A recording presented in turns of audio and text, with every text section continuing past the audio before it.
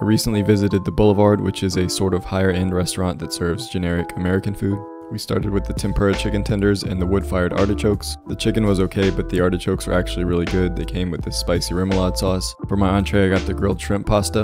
It seemed like a standard pasta dish with vegetables in an oil and garlic based sauce. But to me, pasta is really hard to mess up, so I enjoyed this dish. The shrimp was cooked well, but to be honest, I'm not sure how long it'll be before I come back here. The food was a little on the expensive side, and for the price, the choices are pretty generic.